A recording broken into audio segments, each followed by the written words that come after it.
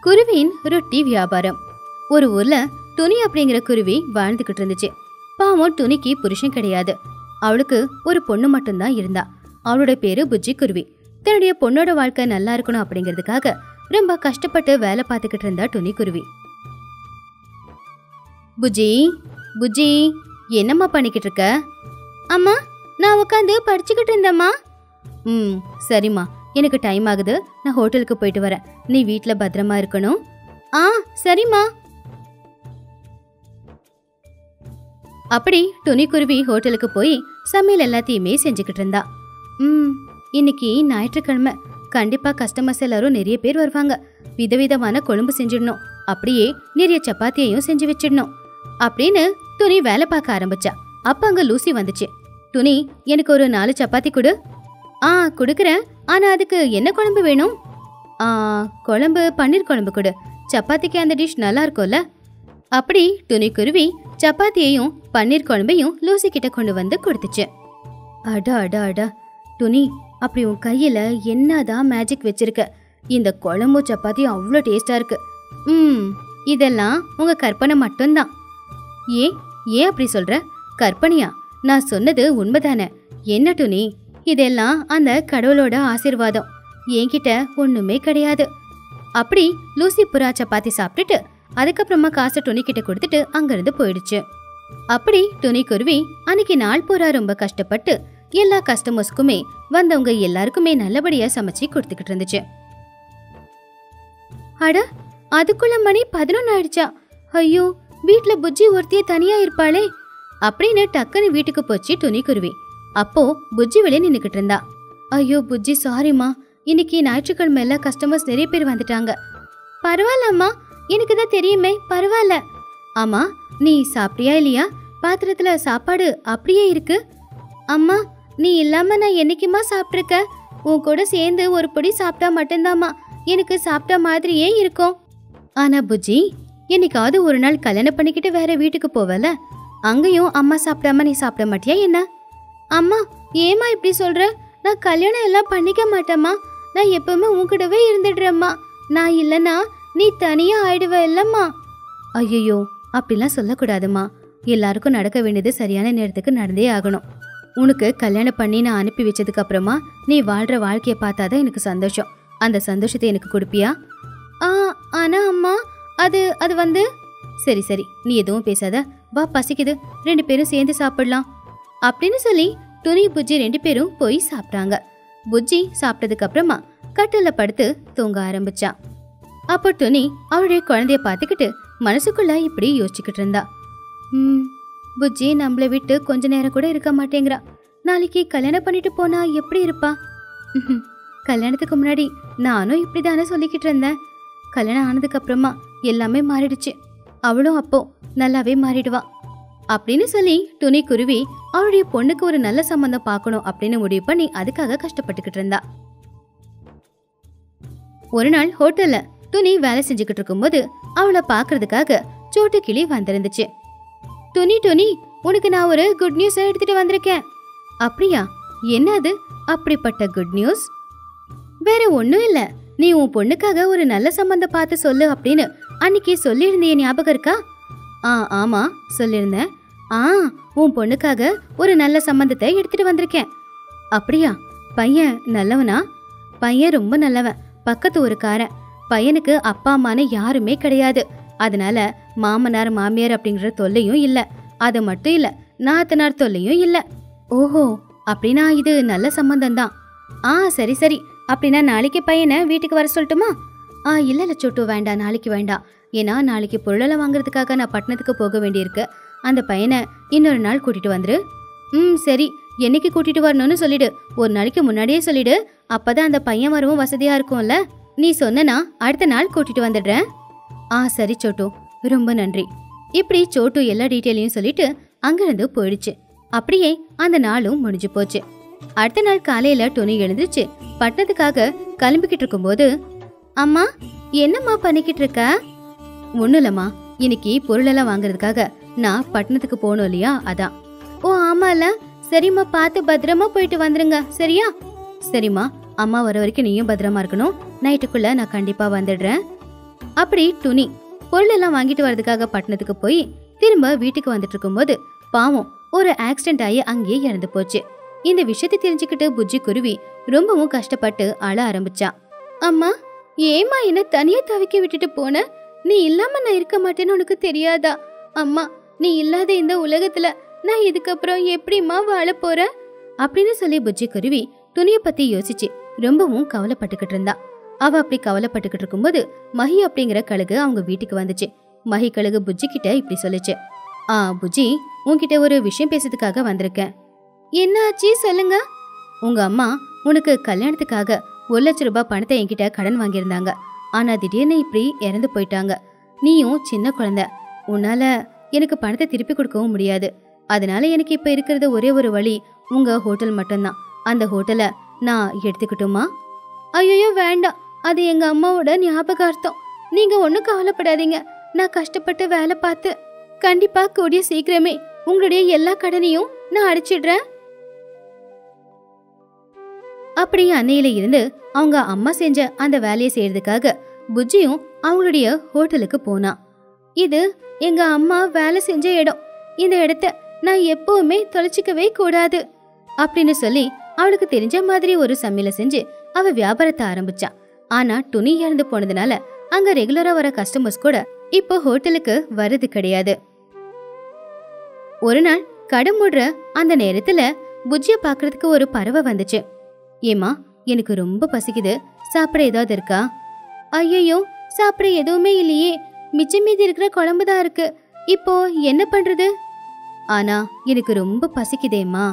அப்படின்னு சொன்னதும் புஜ்ஜி வேக வேகமா ஒரு நாலு சப்பாத்தியை செஞ்சு எடுத்துட்டு வந்து மிச்சம் இருக்கிற குழம்பையும் கொண்டு வந்து அந்த பறவை கிட்ட கொடுத்துச்சு.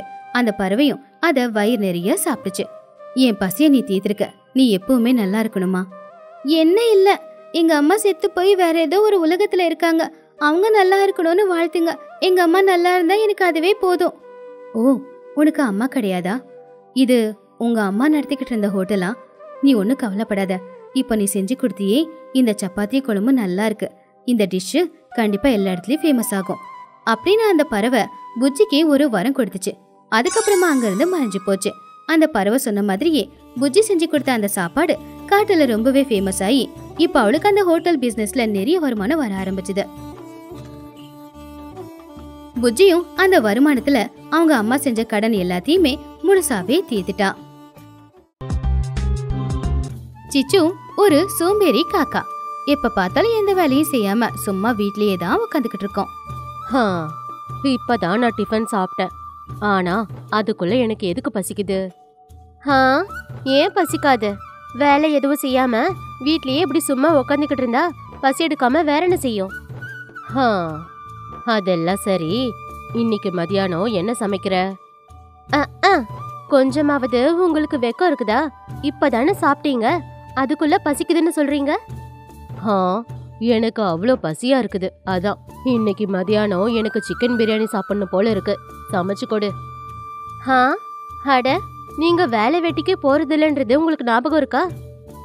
இப்போ அந்த விஷயத்த பத்திலாம் நீ எதுக்கு பேசுற? அட ஒரு ரூபாய் சம்பாதிக்க மாட்டீங்க. அவங்கள இவங்களை ஏமாத்தி சண்டை மூட்டி விட்டு உங்க நாளை இப்படி கழிக்கிறீங்க? வீட்ல மளிகை சாமான் கூட கொஞ்சோண்டு தான் இருக்கு. இப்போ சிக்கன் பிரியாணி வேணும்னு கேட்டா எப்படி செய்யறது ஆ? குறைஞ்சது உங்ககிட்ட சிக்கன் வாங்கவாவது பணம் இருக்குதா? அட சிக்கன் வாங்குறதுக்கு பணம் தேவை கிடையாது. கொஞ்சோண்டு புத்திசாலித்தனம் இருந்தா போதும். ஆ நீ பிரியாணிக்கு எல்லாம் ஏற்பாடு செய். நான் போய் சிக்கன் எடுத்துட்டு வரேன். ஹா என்னவோ போங்க. நீங்க எப்படி எடுத்துட்டு வருவீங்களோ என்னவோ. அப்படி சிச்சு காக்கா சிக்கன் எடுத்துட்டு வரேன் அப்படின்னு சொல்லி கூட்ட விட்டு வெளியே போச்சு. நேரா சிக்கன் கடை வச்சிருக்கிற மகிக்கழுக பாக்குறதுக்காக அங்க போச்சு. ஆ இன்னைக்கு எப்படியாவது இந்த மகி கழுகு கிட்ட ஏதாவது ஒரு நாடகம் ஆடி அதை ஏமாத்தி சிக்கனை வாங்கிட்டு போகணும். அப்படின்னு சொல்லி அழற மாதிரி நடிச்சுக்கிட்டே மகிக்கழுக தாண்டி மெதுவா போய்கிட்டு இருந்துச்சு. ஆ அட சிச்சு எதுக்காக நீ இப்படி அழுதுகிட்டு இருக்க? அப்பாடா இப்பயாவது கேட்டுச்சே. இப்ப பாரு என் டேலண்ட காட்டி நான் எப்படி சிக்கனை வாங்கிக்கிறேன்னு. அது என்ன செய்ய சொல்ற? என்னோட கஷ்டம் அப்படி. அட என்ன ஆச்சு? கொஞ்ச நாளாவே எனக்கு ரொம்ப சோர்வா இருக்குன்னு நான் டாக்டர் கிட்ட போனேன். அந்த டாக்டர் என் தலையில மண்ணை போட்டுட்டாரு. ஐயோ என்னதான் ஆச்சு? எனக்கு சோர்வு ரொம்ப அதிகமா இருக்கு. அதுக்கு காரணம் என் உடம்புல சக்தியே இல்லையா? இப்படி சக்தி இல்லாமலே இருந்தா நான் சீக்கிரமா செத்துருவேனா? ஐயோ ஆ ஆமா. இப்படி எனக்கு சோர்வு வராம இருக்கணும் அப்படின்னா நான் தினமும் சிக்கன் சாப்பிடணும்னு சொன்னாரு டாக்டர் நான் வேற ஒரு ஏழை. எனக்கு எப்படி சிக்கன் கிடைக்கும் சொல்லு? அப்படின்னு கண்ணீர் விட்டு கதற ஆரம்பிச்சது. அவ்வளவுதான். மஹிகழுகோட மனசு இறங்கி ஒரு கிலோ சிக்கனை வெட்டி அதை சிச்சு காக்கா கிட்ட கொடுத்து அனுப்புச்சு. ஆ இந்தா மிமி கேஜி சிக்கன். நல்லா சுவையான சிக்கன் பிரியாணியா சமைச்சு கொடு. உனக்கு புரியுதா? ஆ, உங்களை நான் என்னவோன்னு நினைச்சேன். ஆனா உங்க பேச்சால அந்த நிலாவை கூட வித்துட்டு வந்துருவீங்க. அப்படி மிமி காக்கா போய் தன்னுடைய புருஷனுக்காக சிக்கன் பிரியாணிய செய்ய ஆரம்பிச்சது. அப்பதான் அந்த பக்கமா வந்த துணி குருவி அங்க ஏதோ மனம் வரது பார்த்து சிச்சு காக்கா வீட்டுக்கு போனா. ஆ என்ன? இன்னைக்கு சிச்சுவோட வீட்ல இருந்து நல்லா கம கமன்னு வாசனையா இருக்கே என்னவா இருக்கும்? ஆ என்ன சிச்சு? இன்னைக்கு உன்னோட வீட்ல இருந்து பயங்கரமான வாசனை எல்லாம் வருது. எப்பவும் இல்லாம இன்னைக்கு நீ சிக்கன் கூட வாங்கிட்டியா என்ன? ஆமா. ஆ, காசு கொடுத்து வாங்கினா இந்த சிக்கனோட மனமும் இவ்வளவு சுவையும் எப்படி கிடைக்கும்? ஆ அப்போ இந்த சிக்கன் எப்படி கிடைச்சது? ஹ, அந்த முட்டாள் மகி கழுகு கிட்ட நான் கண்ணீரை சிந்தி ஒரு சினிமா ஸ்டோரிய சொன்னேன் அவ்வளவுதான். கேஜி சிக்கனை ஃப்ரீயா கொடுத்துருச்சு. ஐயோ இப்படி ஏமாத்தலாமா? ஆனா இதுல என்னோட தப்பு எதுவும் இல்ல. ஏமாந்து போனது அந்த மகி கழுகோட தப்பு. அப்படி சிச்சு காக்கா சொன்னது கேட்டு துணி குருவி மகிக்கழுக பாக்குறதுக்காக போனா. அங்க லூசி புறா அப்புறம் சோட்டு கிளியும் இருந்துச்சு. என்ன டோனி நீ இன்னைக்கு ஒரு மாதிரி இருக்கிற? ஆ ஆமா உனக்கு கொஞ்சம் கூட அறிவே இல்லையா? ஏன்? எதுக்கு டோனி? என்ன ஆச்சு? இன்னைக்கு அந்த சிச்சு காக்காவுக்கு கறிய ஃப்ரீயா கொடுத்தியா? ஆ ஆமா. உண்மையாவே அந்த சிச்சுவோட உடம்புக்கு எதுவும் இல்ல. உன்னை அது ஏமாத்தி ஃப்ரீயா கறிய வாங்கிக்கிச்சு. என்னது? அப்படியா? ஆ ஆமா. அந்த சிச்சு காக்கா சரியான ஏமாத்துக்காரன். எப்போ யாரை ஏமாத்தி அவன் லாபம் சம்பாதிச்சுப்பான்னு யாருக்குமே தெரியாது. ஆமா. என்ன கூட ஒரு முறை அவன் இப்படிதான் ஏமாத்தினான் அதுக்குதான் நான் அவன்கிட்ட பேசுறதையே சுத்தமா விட்டுட்டேன். ஹம், இனிமேலாவது நம்ம எல்லாரும் அவன்கிட்ட ஜாக்கிரதையா இருந்தா ரொம்ப நல்லது. அப்படி அன்னையில இருந்து எல்லாருமே சிச்சு காக்கா கிட்ட ஏமாறக்கூடாது அப்படின்னு முடிவு பண்ணாங்க. இப்படியே நாட்களும் நகர ஆரம்பிச்சது. பன்னு காக்காவுக்கு அன்னைக்கு பிறந்த நாளும் வந்திருந்துச்சு. ஆ, உங்களுக்கு இன்னைக்கு என்ன நாளுன்னு ஞாபகம் இருக்காங்க? ஆ இன்னைக்கு வெள்ளிக்கிழமை தானே? ஐயோ அது இல்லைங்க. இன்னைக்கு நம்ம பையன் பண்ணுவோட பிறந்த நாள். ஆ, ஆ, ஆமால. அப்படின்னா இன்னைக்கு என்ன ஸ்பெஷல்? அட நீங்க தான் எதனா ஒன்று வாங்கிட்டு வரணுங்க. நீங்க போய் ஒரு கேக்காவது வாங்கிட்டு வாங்க. ஒரு அப்பாவா உங்க பேரை காப்பாத்திக்கோங்க. அப்படின்னு மிமி காக்கா சொன்னதும் சிச்சு காக்கா வெளியில போச்சு. அன்னைக்கு துணி குருவிக்கும் பிறந்த நாள் அப்படிங்கறதுனால துணி அவளுக்காக ஒரு கேக்கை ரெடி பண்ணி வச்சுட்டு குளிச்சுட்டு வரலாம் அப்படின்னு வீட்டுக்குள்ள போயிட்டா. அட டூனியோட வீட்ல அழகான கேக் இருக்கு. இந்த நேரத்துல டூனி வேற வீட்ல இல்ல போல. இந்த கேக்கை எடுத்துட்டு போய் என் பையன் கிட்ட கொடுக்கறேன் அப்படி சொல்லி சிச்சு காக்கா துணி வீட்ல இருக்கிற கேக்க திருடி வீட்டுக்கு கொண்டு வந்துச்சு. இந்த பக்கம் துணி குளிச்சுட்டு வந்து பார்த்தா அவ செஞ்சு வச்சிருந்த கேக்க காணோம். அட என்னோட கேக்கு எங்க? நான் அதை எவ்வளவோ கஷ்டப்பட்டு செஞ்சேன். வர வர இந்த ஊர்ல திருடங்க ஜாஸ்தி ஆகிட்டாங்க. மிமி இந்தா கேக்கு. பாத்தியா? நிமிஷத்துல போய் எடுத்துட்டு வந்துட்டேன். ஹ இப்பதான் நீங்க ஒரு நல்ல காரியம் செஞ்சிருக்கீங்க. அப்படி மிமி காக்கா ரொம்பவும் சந்தோஷப்பட்டுச்சு புள்ளையோட பிறந்த நாள் விழாவுக்காக காட்டுல இருந்த எல்லா பறவைகளையும் வீட்டுக்கு கூப்பிட்டுச்சு. அதே மாதிரி துணியையும் கூப்பிட்டுச்சு. துணி வீட்டுக்கு வந்தா. அங்க இருக்கிற கேக்க பார்த்து அவ ஆச்சரியப்பட்டா. அப்போ துணி ரொம்ப கோவமா சிச்சு காக்கா கிட்ட ஐயோ இது என்னோட கேக்கு. என்னது? நீ என்ன சொல்ற? இன்னைக்கு எனக்கும் பிறந்த நாள் தான். அதுக்கு தான் நான் ரொம்ப கஷ்டப்பட்டு இந்த கேக்கை தயார் பண்ணேன் ஆனா அந்த கேக்கு காணாம போயிடுச்சு. இது எல்லாமே இந்த சிச்சுவோட வேலை தான். அது அது வந்து அப்படின்னா இந்த கேக்கை இப்போ டோனி சித்து கிட்ட கொடுத்துடணுமா? பன்னு இந்த கேக்கு உனக்கு தான். நீயே வச்சுக்கோ. சிச்சு என் கூட கொஞ்சம் வெளியே வாயேன் உனக்கு ஒரு வேலை இருக்கு.